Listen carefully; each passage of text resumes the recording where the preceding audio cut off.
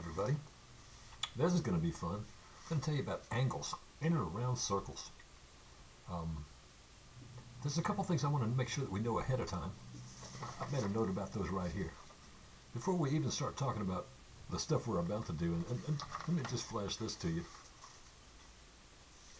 You're going to find angles all over the place in circles, outside of circles, formed by secants and formed by tangents and radii, tangents and chords. Angles just not at the center, some central angles, some angles that are neither central angles nor, nor inscribed angles. Lots of angles around circles. You're going to figure about those things today. But before we even start that, we got to recognize what about angle A? What kind of angle is angle A? Angle A is a central angle. And how do you measure it? It's the same as the arc it cuts. Got to know that ahead of time. What about this angle Q? Anything special about it? Well, it does have its vertex on the circle. That makes it be an inscribed angle. So what? How do you measure it? The measure of angle Q, one half the arc it cuts, and it cuts this arc PR. So it would be arc PR divided by 2.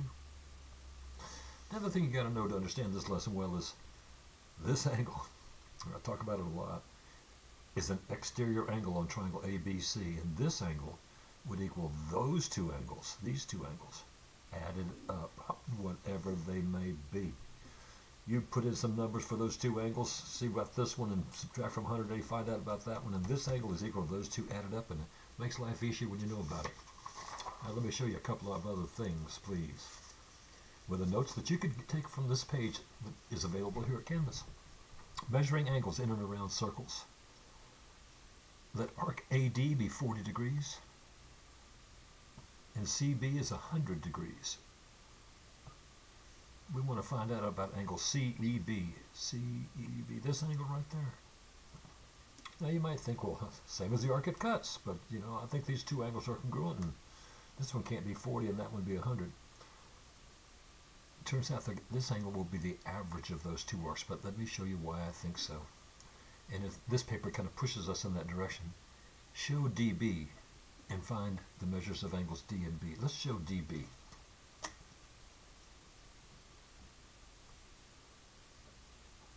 When you do that,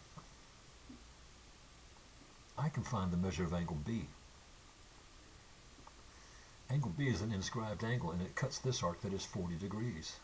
So therefore angle B must be 20 degrees. An inscribed angle is one half of the arc it cuts. Well, what about angle D? Not congruent to that one, but it's another inscribed angle. And look at the arc that it cuts. It is 100 degrees. Therefore angle E would have had to have been 50. Now, what you got to catch is this angle that we care about, this angle I'm wanting to figure out about, angle CEB, is the exterior angle on this little triangle that I'd like to shade for a second. Therefore, that angle is equal to these two angles added up. It's got to be 70 degrees. The measure of angle CEB, that exterior angle of the shaded triangle is equal to the sum of the remote interiors, 50 and 20, therefore 70 degrees. But, how does this angle relate to these arcs? Is it the average of them? Add them up and divide by 2. That's how we can get that angle. Then we just practice that thought for a second. Here it tells me that arc PS is 70 and arc QR, yeah, that one, is 150. Give the measure of angle QXR. That's the one with the arc on it, huh? Not a central angle, not the same as the arc it cuts, not an inscribed angle, not half the arc it cuts, but look at its vertical angle partner, the arc angle, the arc that it cuts. This angle, these angles, equal to each other, are the average of those two arcs. Add them up and divide by 2, the arcs that it cuts. So 70 plus 150 divided by 2. And that's 220 divided by 2, 110 degrees. That's the measure of angle QXR. 110. And you want to remember for the rest of your life, an angle just somewhere within the circle, inside the circle, is the average of the arcs it cuts. How do you measure it? There we go. Here we get a generalized statement about it. How would you measure an angle formed by two chords? And this kind of angle, that's not necessarily the center of that circle, I don't think it is, but that's an angle formed by two chords. And so it would be the average of the two arcs, I would say arc AB plus arc CD divided by 2. I can know other arcs and find other angles, but that's how I get angle 1. Now, I'm going to take up the idea of an angle formed by two secants. We're changing gears a little bit, going to this picture. There's a couple of segments of, a, of, of two secants. And they're going to tell me ahead of time that arc BE is 20 and arc CD is 90. And I want to find this angle out here. An angle outside a circle. Uh, not much I can do until I, I have to introduce a segment or two. This one actually. Let's show CE it is. When you do that, you get a couple of inscribed angles. I think we can know the measure of angle C. It's an inscribed angle, and we know the arc that it cuts. Angle C cuts arc BE, and BE was 20 degrees. Therefore, that inscribed angle, one half the arc it cuts, must be 10. But what about this angle?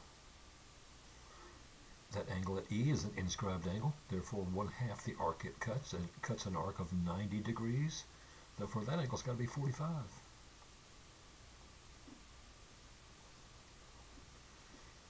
Now, let's think about this for a second. Here I got a triangle. I'm thinking about that exterior angle of a triangle. This 45 degree angle is an exterior angle of that shaded triangle. It must equal the sum of these remote interiors. This guy being 10, this guy must be 35, so they would add up to 45 together. I know that to find the measure of angle A, it will be the big arc 90 minus the small arc 20 divided by 2. How's that going to work? If this, I know that angle, let me write it this way, the measure of angle A plus the measure of angle C is equal to the measure of angle CED.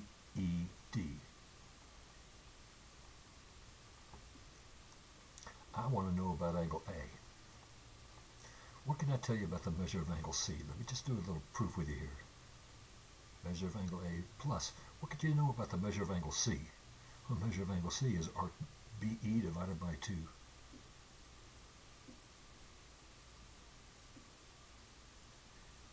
What could you tell me about the measure of angle CED? Angle CED, well that's arc CD divided by 2.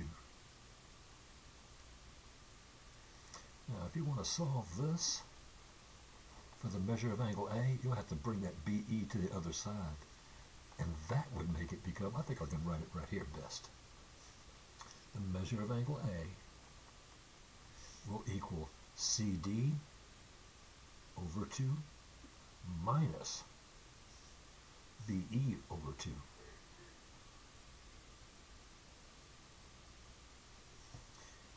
Think about that for a moment longer, and you could write it as CD minus BE over 2. That's the way we're going to measure that angle. And that's pretty much what I was doing right here. 90 degrees minus 20 degrees, that gave me 70. Divide that by 2. That's a 35 degree angle. That's the measure of angle A. Let's look some more. Here's another angle formed by a couple of secants. And they tell me about this arc. UW is 30. This arc VX is 130. Find out about angle T. I can go right to this axiom, but let me let me instantiate why that works that way. If I were to show this segment, That gives me an exterior angle of a triangle. That angle, let me call it angle 1. This one's angle 2. We can call that one angle T. Isn't it true that the measure of angle 1 equals the measure of angle V? Oh, well, let's, I can call that V, but I'll call I said 2. Let me call it angle 2. The measure of angle 2 plus the measure of angle T.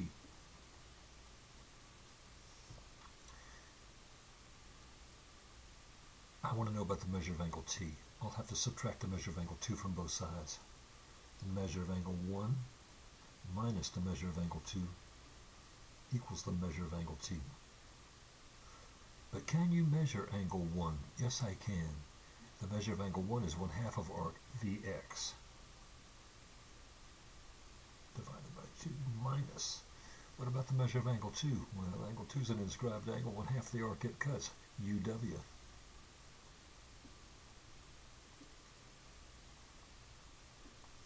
This makes me think that if I choose to get this angle T outside this circle, it will be Vx, the big arc, minus UW, the small arc that it cuts, divided by 2.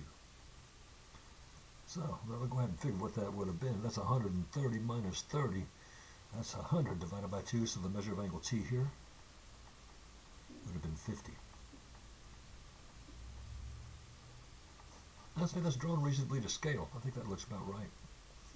Let's get a chance to practice that thought.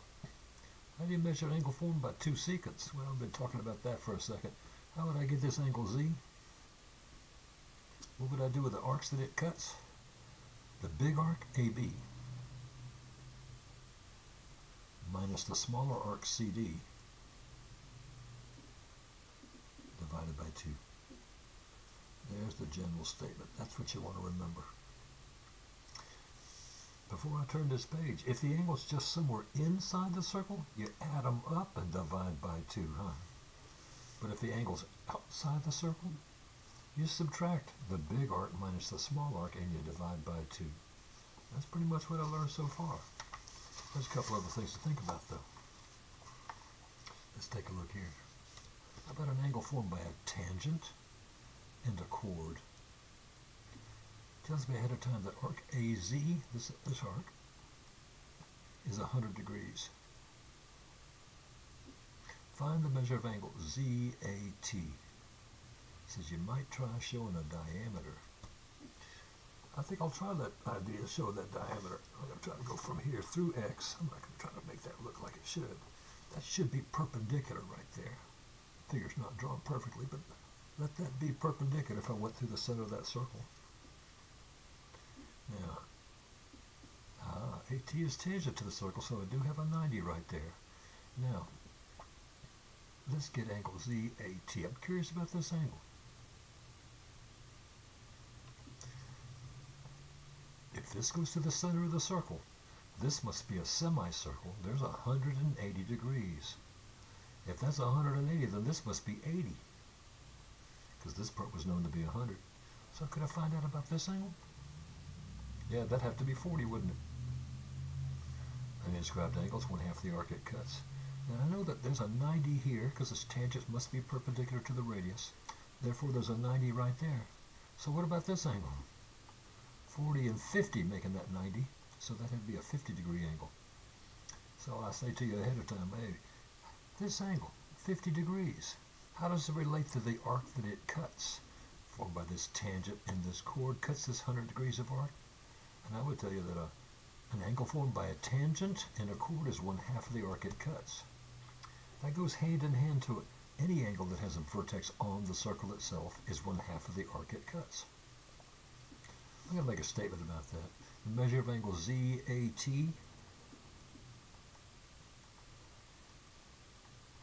is one half of the arc that cuts. The measure of this angle is one half of arc ZA. That's the arc that it cuts. I get a chance to practice that a little bit. Let's look at this. Arc BX is 130. Arc BY is 150. I'd like to figure out about this arc. I know the arcs of the full circle got up to 360, and there's just a single point touching right there, so that's not no arc at all. Those are 280. If I take that out of 360, I think that leaves 80 degrees right there. That would add up to 360. So now, let's find all these angles. We uh, I was supposed to find out about arc XY. It was 80. How about angle XBY? That's this angle. Now that's an inscribed angle, and that'll be one half of the arc it cuts. Angle XBY, 40 degrees. Angle XBA, X to B to A. Angle formed by a tangent and a chord is one half of the arc it cuts. Any angle whose vertex is on the circle is one half of the arc it cuts. That have to be 65 degrees. Angle Ooh, well, I, I, wish I could find out about this angle. Let me go ahead and do that. Then I'll look at the one that it asks about. That angle's got to be 75 degrees, huh? An angle with its vertex on a circle formed by a tangent and a chord is one half the arc it cuts. That had to be 75. What I wanted to verify with you, that 75 degree angle, that 40 degree angle, and that 65 degree angle those have up to 180, this linear group, and I'm seeing that they do. They got a 10 right there, carry the 1, yeah. I think they add up to 180, and I'm happy that those would add up to 180. Now I'll go figure it out about this angle XBC. X to B to C. Well, it's an angle formed by a tangent and a chord, and it cuts this pretty big arc, doesn't it? That's 150 and 80 more, that's 230 degrees. And a half of 230 be 115. And that's okay with me, because those two angles should have been supplementary, huh? Angle XBA being 65 should have been the supplement of this angle, because they make that linear pair together. Angles formed by a tangent and a secant. it's getting pretty good. Here's a tangent to the circle, and here's a secant to the circle. And we're curious about this angle right there. Tells me that TC is 70 deploy that. And TD, this part, that's 90. And I'm curious about this angle A, outside the circle. I would like to get one of those exterior angles on a triangle, but I don't even have a triangle. Uh, I'm going to show TC from the point of tangency to point C. And that's going to give me a couple angles to work with. That one and this one. And I hope you're catching that this, this triangle right there, the one I'm shading, has this exterior angle. This angle is going to equal those two angles added up. Well, how big is that angle right there then? Uh, if this arc is 90, this is an inscribed angle. It's one half the arc it cuts. That'd have to be 45 degrees. I'm working toward angle A. That's what it asked me to do. Now, this angle at T, that angle right there, that's formed by a tangent and a chord. How do you measure an angle formed by a tangent and a chord? And I should have made a statement about that a minute ago. It's one half of the arc it cuts. So this angle at T should be one half of 70. That'd have to be 35 degrees. I'm here to tell you that this angle is an exterior angle on this blue triangle. It, it, should equal the sum of the remote interiors. So this 45 should equal this 35 plus this angle A. I think angle A has got to be 10. Here's how I would work it to get the angle outside a tri outside a circle. The big arc 90 minus the small arc 70 divided by 2. That would have given me 20 divided by 2. That would have given me 10. That's a formula that will work every time. It says show TC and we did and check those inscribed angles. Yep, that's what we did. And this is an exterior angle and a triangle that will equal those two angles added up. That made me think was 10 degrees before, but here's a nice way to make that happen. Now let's get a chance to practice that thought. Here's another tangent and a secant. We're going to find out about angle P. Or QR, 50 degrees arc QS, 110 degrees. Now, let's work it a couple different ways. Uh, just the generally from the formula, the measure of angle P ought to be the big arc. Angle P coming across here. Cuts a big arc and it cuts a smaller arc. The big arc, 110, minus the small arc, 50, divided by 2. That would give you 150 minus 110 minus 50 would be 60 divided by 2. That make me think it's 30 degrees. Now let me just show you that if it really works out that way, if I were to show QR and try to pick up on a couple of angles that I could. That angle, that's an inscribed angle, the one at R. It ought to be one half of the arc it cuts. It cuts an arc of 110 degrees, so it would be 55 degrees there, wouldn't it? And this one, at Q, that's formed by a tangent and a chord. That'll be one half the arc it cuts. It cuts an arc of 50 degrees. That angle's going to have to be 25. What you got to remember here, as we seek angle P, this is an exterior angle on that shaded triangle. This angle should equal those two angles added up. So I sure I have to, whatever angle P is, plus 25 is going to add up to 55. Yeah. 30 plus 25 does that up to 55, does it? So I'm happy with the thing we got working right there. I'll give you a generalized statement about that. How do you measure an angle formed by a secant, a tangent and a secant?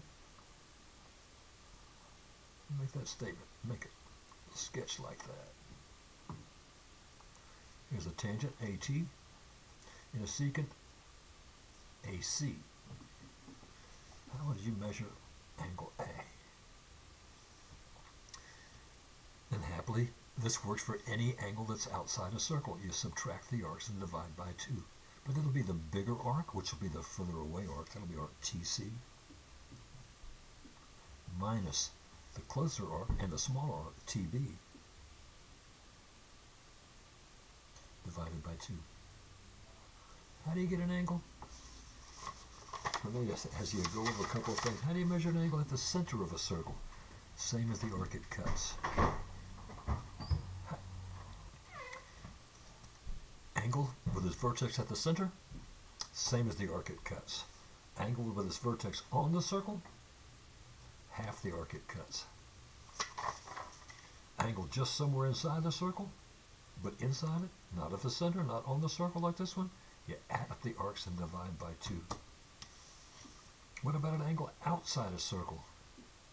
You subtract the arcs and divide by 2. Angle formed by two secants, yeah, get this angle outside the circle, you would subtract the arcs and divide by 2. What else we know for sure? Ah, angle formed by a tangent and a chord, like this angle, one half of the arc it cuts. Any angle with its vertex on the circle is one half of the arc it cuts. For, angles formed by tangent and a secant, subtract the arcs and divide by 2, one half the difference in the arcs. So it's a lot of fun. And pretty soon you'll be taking quizzes that look like this and figuring all kind of angles and arcs. It'll be fun. I look forward to doing that kind of thing with you. Thank you for listening.